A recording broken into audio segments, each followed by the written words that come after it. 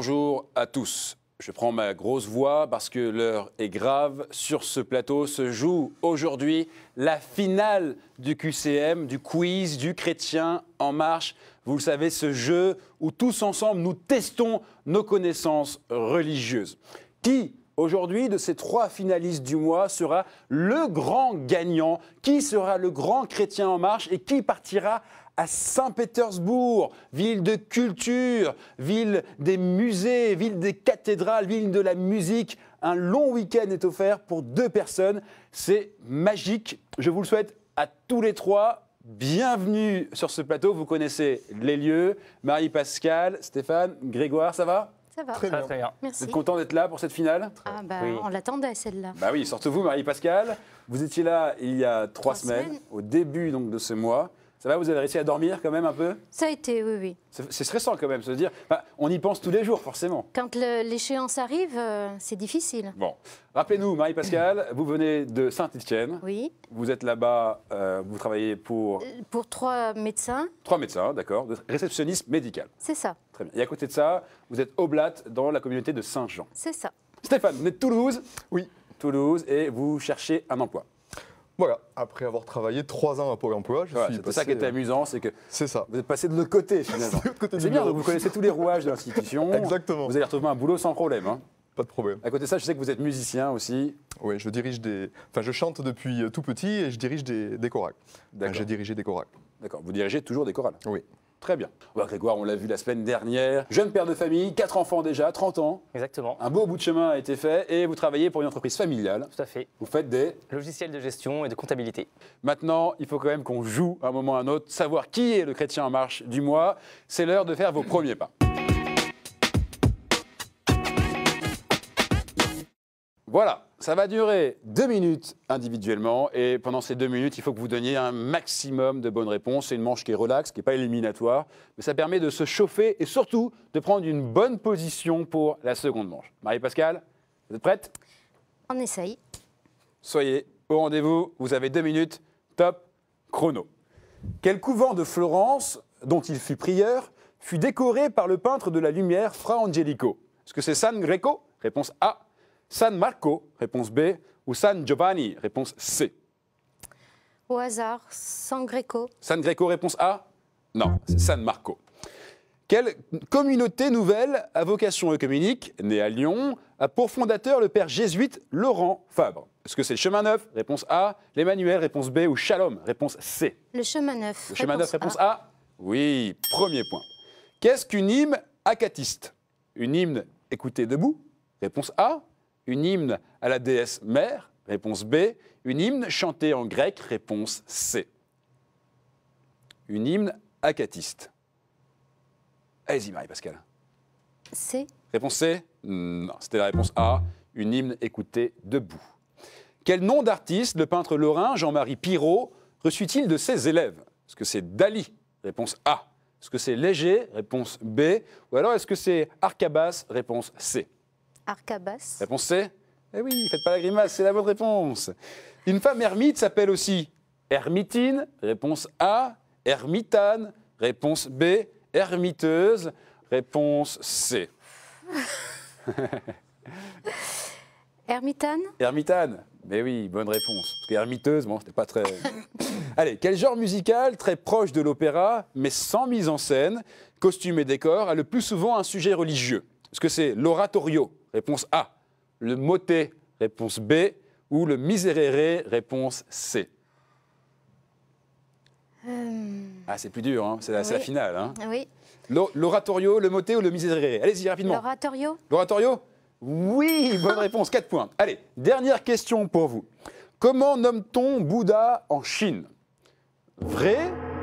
Réponse A. Faux? Réponse B. Ou alors, je sais pas. Réponse C.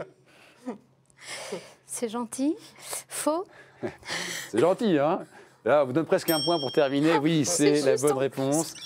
Bravo, Marie-Pascale. Vous n'êtes pas laissé décontenancé par cette dernière question, on va dire un petit peu rigolote. Bravo, 5 points. C'est un très très beau score en finale, donc vous pouvez garder ce sourire. Stéphane, ça va? Très bien. Hein, Stéphane, la rose qui pique de Toulouse. Stéphane, Il faut faire mieux que 5. On Vous essayer. pouvez le faire, je sais que vous pouvez le faire. Vous êtes prêts? Oui. Deux minutes. Top. Chrono. En peinture, qu'appelle-t-on un olime tangere Un tableau représentant une pêche miraculeuse? Réponse A. L'apparition du Christ ressuscité à Marie-Madeleine? Réponse B. Ou alors le lavement des pieds? Réponse C. Réponse B, l'apparition du Christ à Marie-Madeleine. Oui, bonne réponse. Quel document chrétien anonyme de la fin du IIe siècle démontrait la nouveauté radicale du christianisme? Est-ce que c'est la lettre à Dionyette Réponse A. Le courrier de Lyon? Réponse B. L'épître blanche? Réponse C. Réponse A, la lettre à. Oui, bravo Stéphane. Qui a écrit La prière est en somme la seule révolte qui se tienne debout? Est-ce que c'est André Gide? Réponse A. Georges Bernanos? Réponse B. Ou alors André Comte-Sponville Réponse C. Réponse B, Bernanos. Georges Bernanos, réponse B Parfait, bonne réponse, sans faute pour l'instant. Comment s'appelait le grand col de chemise ramené sur la soutane et resté en usage jusqu'à l'apparition du col romain? Est-ce que c'est le rabat? Réponse A. Est-ce que c'est l'amicte Réponse B. Ou le pavillon? Réponse C. Réponse A, le rabat. Réponse A, le rabat Franchement, bravo. Combien de temps, après leur rédaction, les actes de mariage religieux sont-ils accessibles? Hors filiation directe 25 ans, réponse A. 50 ans, réponse B. Ou alors 100 ans, réponse C. Au hasard. Hein. Pour égaliser avec Marie-Pascale. euh, réponse C, 100 ans. Et franchement, c'est énervant parce que le hasard fait, fait bien les choses. C'est la Providence alors. oui, bravo, bravo. 5 points, vous pouvez prendre la tête. Continuez. Comment appelle-t-on le passage étroit amené dans l'épaisseur des murs au niveau des combles sur les bas-côtés de la nef d'une grande église? Est-ce que c'est l'archivolte? Réponse B. Réponse A, pardon. Le triforium? Réponse B. Ou alors le tympan? Réponse C. Réponse B, le triforium. Oui, bonne réponse. Et vous avez le temps d'en faire une dernière. Voici votre dernière question. Que signifie le mot latin hostia? D'où vient le français hostie Est-ce que ça veut dire victime, victime expiatoire? Réponse A. Autel Réponse B. Ou alors prêtre Réponse C. Je dirais réponse A, victime expiatoire. Vous diriez, pardon? Je Réponse dirais A. réponse A, victime expiatoire. Non, là, non, c'est-à-dire que là, vous faites, c'est bravo, c'est, c'est- c'est bra- c'est bravo, il n'y a rien à dire. Vous venez de faire un sans faute sur euh, cette première manche en finale. Stéphane, formidable, très fort. Félicitations. Grégoire, ça va? Ah, le niveau est très élevé, donc ça va pas, non? Oui, non, non, mais vous allez voir, hein, tout, est, tout est faisable. Vous savez, le chemin peut être surprenant. C'est vrai. En tout cas, bravo Stéphane, félicitations. Grégoire, vous êtes prêts? Oui. Deux minutes pour faire six, au moins. Comme ça, vous êtes deuxième. Vous faites huit, vous êtes premier. Et ce serait quand même formidable. Ok. Allez, deux minutes. Top. Chrono. Qu'impose le cérémonial de 2002 pour la croix de bois utilisée lors du chemin de croix du Vendredi Saint Pas de Christ sur la croix, réponse A. Pas plus de 120 kilos, réponse B. Ou alors en chêne ou en olivier, réponse C. Pas de Christ sur la croix. Oui, pas de Christ sur la croix, évidemment. Bonne réponse. Dans quelle ville de Pologne Jean-Paul Jean-Paul II est-il né? Est-ce que c'est Wadowice? Réponse A. Cracovie? Réponse B. Ou alors Gdansk, Gdansk Réponse C. À Cracovie. Cracovie Non, c'était Wadowice. Dans le roman Un prêtre marié de Jules Barbet d'Aurevilly, comment s'appelle le prêtre défroqué L'abbé Bournisien, réponse A. L'abbé Geoffroy, réponse B. Jean Sombreval, réponse C. L'abbé Bournisien, au hasard. Non. Ça, pas comme Stéphane, celui de la chance avec le hasard. Non, c'était la réponse C, Jean Sombreval. La Providence n'est pas là. Quel poète chrétien du VIe siècle a composé la fameuse hymne O crux ave spes unica C'est-à-dire Salut aux croix, unique espérance. Est-ce que c'est Omar Khayyam Réponse A. Vénance Fortuna Réponse B. Ou Dante Réponse C. Euh, je dirais réponse B. Oui, Vénance Fortuna, bonne réponse.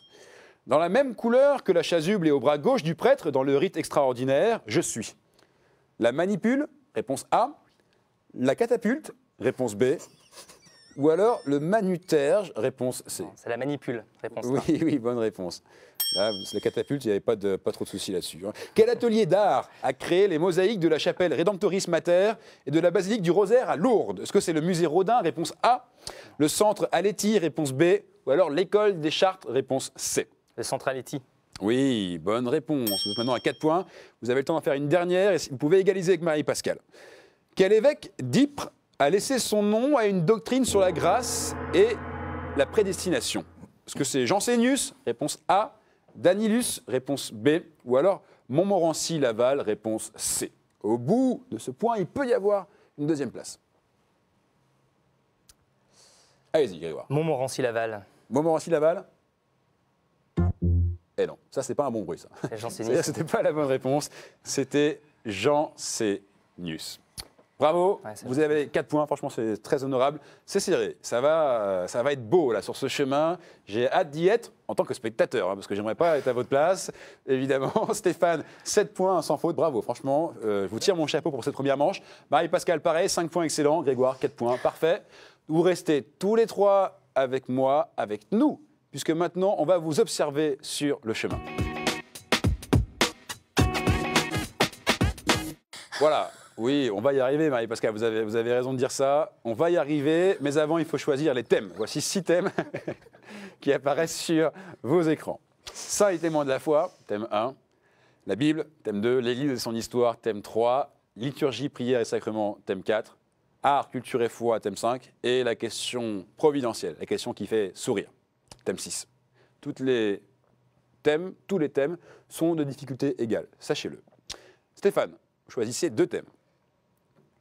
Liturgie, sacrement et prière. Liturgie, sacrement et prière. Bon, vous reprenez les mêmes formules que- qu'au début, vous. hein. Attendez, j'ai pas dit la seconde. Alors allez-y, continuez. Art, culture et foi. Art, culture et foi, formidable, bravo. Très bien. Marie-Pascal, vous êtes deuxième, un troisième thème. Euh, je vais essayer Bible. Bible? Parfait. Donc, pas de questions providentielles pour cette euh, finale. Je ne suis pas sûre que ça m'ait réussi il y a trois semaines. Très bien, très euh, bien. Non, mais je n'essaie pas de vous inciter, vous avez décidé. Grégoire, ça va? Rega- Regardez, Oui, écoutez bien bien. ce qu'ils ce qu'ils ont pris pour vous, ce qu'ils vous imposent aujourd'hui. Liturgie, prière et sacrement, thème 1. Art, culture et foi, thème 2. Et puis la Bible, thème 3. Voici donc les trois thèmes retenus pour cette grande finale. Désolé, ça met la pression hein, quand je dis ça comme ça. Allez, on commence avec cette question liturgie, prière et sacrement. Nous sommes des laïcs qui répondons à une double nécessité. Une nécessité sociale, puisque nous participons à différentes activités comme l'assistance aux agonisants, l'enterrement des morts, le secours aux malades, et une nécessité spirituelle, traditionnelle parfois, comme l'organisation des fêtes religieuses et des processions, ou alors actuelle, comme le souci, dans une société marquée par l'indifférence, d'y maintenir un peu de fraternité et de chaleur humaine. Nous ne cherchons pas exclusivement l'expiation individuelle et solitaire, mais aussi le partage avec tous ceux qui souffrent. On nous reconnaît en Espagne, en Italie ou en Corse notamment par nos tenues. Stéphane, Les pénitents. bien joué, par nos tenues montées d'un haut chapeau pointu masquant le visage, les pénitents. Bravo Stéphane. Question art, culture et foi. Bien avant d'être le décor final de la Tosca de Giacomo Puccini, je fus le mausolée d'Adrien et y reçus ses cendres en 139. Caracalla est le dernier empereur à l'avoir imité. Très vite, je changeai de destination et fus intégré à la muraille aurélienne, mes statues servant de projectiles en 537 contre les Goths. Quatre papes du IXe siècle trouvèrent la mort dans mes murs, transformés en prison. Grégoire, Le château Saint-Ange. Le château Saint-Ange, excellente réponse. Je porte le nom de Saint-Michel, le château Saint-Ange. Bien joué, Grégoire. Marie Pascal, il faut y aller. Mais il n'y a pas de problème. On continue. Question liturgie, prière et sacrement. Concentrez-vous, on joue pour un voyage à Saint-Pétersbourg. Nous sommes une tradition religieuse et populaire, profondément ancrée dans l'histoire de notre région. Nous sommes d'ailleurs candidates à une intégration sur la liste du patrimoine culturel immatériel de l'humanité, invoquant les inscriptions précédentes de manifestations similaires, comme la procession du 500 à Bruges, par exemple. Face à une épidémie du mal des ardents, en 994, l'évêque et abbé organisent une grande procession exposant les reliques, notamment de Saint Martial, premier évêque de Limoges. Je suis. Pas facile celle-ci. Vous l'avez pas? Grégoire? La vénération des reliques? Non. Non, non, non. Pascal Non. Ouais, Pascal, Stéphane, non. Bon, ce sont les, les ostensions limousines. Voilà, oui. Ouais. Vous l'aviez, Sté- Stéphane On l'a vu sur KTO. Bien. Allez, on continue. Question art, culture et foi. Au lycée Louis le Grand, puis à l'école libre des sciences politiques, je baignais, comme tous les jeunes gens de mon âge, dans le bagne matérialiste du scientisme de l'époque. Les Illuminations, recueil de poèmes d'Arthur Rimbaud, que j'ai appelé le mystique à l'état sauvage, eut une grande influence sur moi et mes, pré- et mes premières pièces de théâtre. Mais la plus grande influence vient de ce magnificat de la maîtrise de Notre-Dame de Paris, entendu le jour de Noël 1886. J'étais venu au Vêpres en curieux. En un instant, mon cœur avait été touché et je crus. Mon œuvre littéraire a pris le pas sur ma carrière diplomatique. Stéphane, Claudel vous dites? Claudel Paul Claudel Oui. Oui, c'est la bonne réponse. bravo, bravo, bravo, bravo. J'ai écrit Tête d'or, le soulier de satin, le partage de midi, Paul Claudel. 2, 1, 0, rien n'est joué.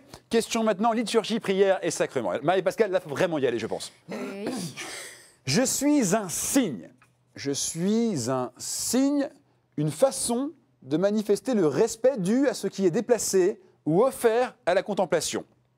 Je suis utilisé pour porter un ciboire, une pyxide, une custode d'un lieu à un autre. Je sers également à masquer l'hostie du regard des fidèles jusqu'à ce que la lunule soit placée dans l'ostensoir où l'hostie est exposée.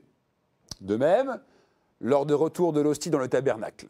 Je suis une longue bande de tissu blanc, souvent en soie, placée sur les épaules de Stéphane. Le voile huméral. Le voile huméral, oui. Mon nom vient du, mon nom vient du latin qui signifie épaule humérus, le voile huméral. Bravo à tous les trois. Malheureusement, Marie-Pascal, je suis désolé. Ils sont pas galants. Ils n'ont pas, ils ont pas voulu qu'il y ait femme en finale aujourd'hui. C'est pas grave, j'étais très étonnée d'arriver jusque-là et j'ai passé de très bons moments avec vous. Non, bah nous aussi, franchement, vous étiez une très agréable candidate, très drôle, très rigolote. Vous avez mis beaucoup de bonne ambiance et surtout, vous avez très très bien répondu. Donc, merci à vous d'être venu et vous repartez avec ce très beau cadeau qu'on vous offre. Regardez. Madame, cette médaille miraculeuse en or 18 carats vous est offerte par Laudate. À l'image de la Vierge Marie, ce bijou précieusement conçu prendra toute sa valeur spirituelle autour de votre cou. Ça va Heureuse? Oui, très bien, merci. C'est un beau cadeau. Oui. Vous allez pouvoir le, le ramener à Saint-Étienne. Vous pouvez dire à tout le monde, je suis passé dans la finale du QCM, le quiz du Chrétien en marche. Merci beaucoup Marie-Pascal. Merci à vous. À très bientôt. Vous allez évidemment regarder la finale entre Stéphane et Grégoire. Ce sont donc nos deux finalistes du jour. L'un d'entre eux partira à Saint-Pétersbourg. J'espère qu'il nous enverra une carte postale, hein, franchement. Qui sera ce grand gagnant? Eh bien, on va le savoir tout de suite.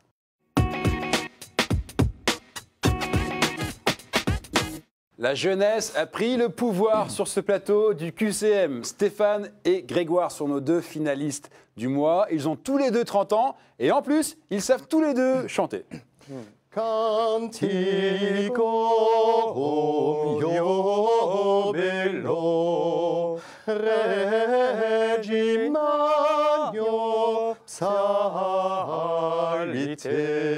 Bravo, messieurs, félicitations. Par contre, j'ai une mauvaise nouvelle.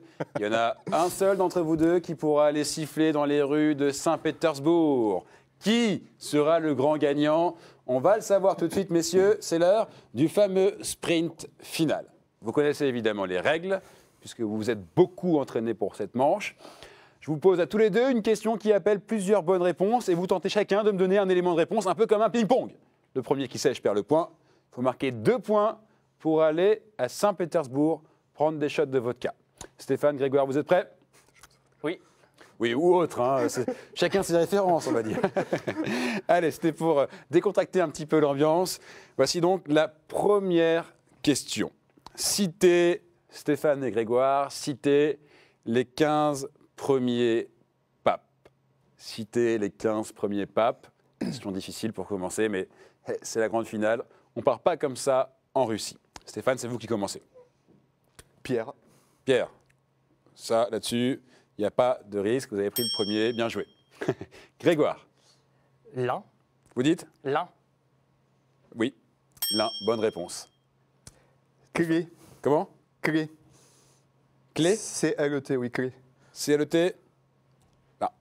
Je ne pense pas que ce soit. Si, c'est une bonne réponse. Grégoire. Euh... Sixte. Sixte. Oui, bonne réponse. Vous êtes balèze, messieurs. Je vous le dis, franchement, vous êtes balèze. Stéphane, Cyprien, Cyprien?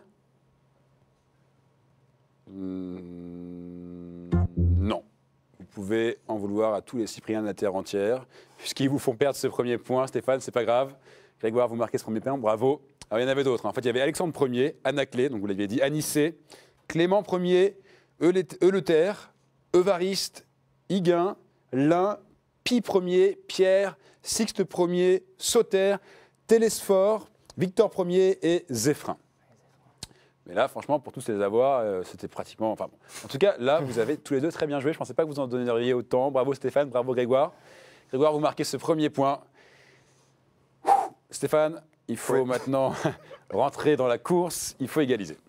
Vous êtes prêt, Grégoire? Vous êtes à un point de Saint-Pétersbourg. Et c'est pas mal le QCM. On arrive comme ça, tranquille, et on repart éventuellement avec un voyage ou pas. Voici donc la deuxième question. Les suivants ne sont pas 15, contrairement à la première question, et on les connaît davantage, bien qu'ils soient plus anciens. Pouvez-vous, s'il vous plaît, me citer les fils d'Adam et Ève? Sachant que si vous arrivez à me donner toutes les bonnes réponses, vous marquez tous les deux un point, et donc Grégoire, vous serez le gagnant. Et Grégoire, c'est vous qui commencez. Citez les fils d'Adam et Ève. K1. Cain. Bonne réponse. Oui. Abel Oui. Bonne réponse. Grégoire Je crois qu'il n'y en a pas d'autres. Je ne connais pas d'autres. Vous en connaissez pas d'autres? Non. Il y en a d'autres. hein. Vous n'en avez pas d'autres? Ah, ça se corse. Peut-être. euh, alors, si je fouille dans ma mémoire, je dirais peut-être. euh, Allez-y. Peut-être pour une place à Saint-Pétersbourg. Allez-y, Grégoire. Samuel. Samuel Non. Pas de regret. Bien tenté quand même. Stéphane, vous aviez l'autre? Rien d'autre. En fait, il y en avait trois. Il y en avait trois. Je ne vous l'ai pas dit exprès. Et le troisième, c'était 7. Ah oui. Voilà, bravo à tous les deux. Ce qui fait que bah, on est dans un cas de figure qui est passionnant, hein, pour moi en tant que spectateur en tout cas, et pour nous en tant que spectateurs. C'est que vous êtes à égalité et donc c'est corsé. C'est. Et voici la question qui va vous départager. C'est donc la dernière question de ce mois. Et au bout de cette question, il y a enfin le gagnant pour Saint-Pétersbourg. Dans la lointaine descendance d'Adam et Ève, dont on vient de parler, puis d'Abraham, d'Isaac et de Jacob, on trouve 12 tribus d'Israël. Est-ce que vous pouvez me donner la liste des 12 tribus d'Israël, à chacune desquelles a été attribué un, un territoire en terre promise? Hein, Je précise qu'il y, a- il y a plusieurs listes. Celle que vous- je vous demande, c'est la liste des tribus auxquelles on a attribué un territoire. Vous voyez ce que je veux dire, Stéphane Grégoire?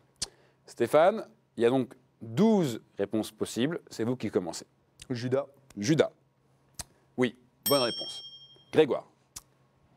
Euh, la tribu de Benjamin. Benjamin. Oui, bonne réponse. Stéphane. Manassé. Manassé.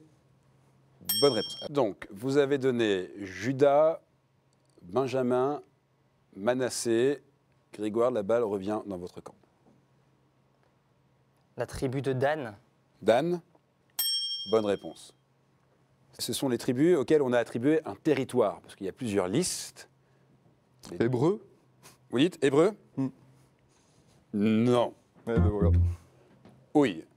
Je crois que vous venez de perdre ce point, Stéphane. Grégoire, vous en connaissiez d'autres? Je pense qu'il y a la tribu de Jérémie. Jérémie? Non, il n'y avait pas Jérémie. Vous aviez d'autres euh, hypothèses? Je vais vous les donner. En fait, il y avait Asser, pour commencer.